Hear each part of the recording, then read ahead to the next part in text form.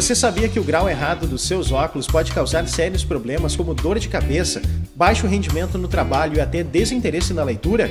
Por isso eu cuido muito bem da minha visão. Aqui no Centro Ótico Rossano Quadros, as melhores marcas, os melhores produtos e o profissionalismo de quem realmente entende.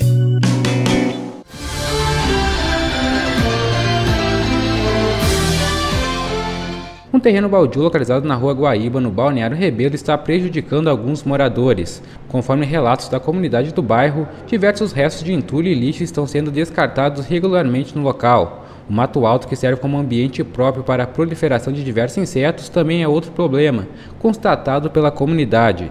Conforme moradores, a prefeitura foi notificada do problema, mas até o momento nada foi solucionado. Conforme a Secretaria de Meio Ambiente, o descarte de lixo é caracterizado crime ambiental, passível de multa para quem for flagrado realizando este tipo de ação.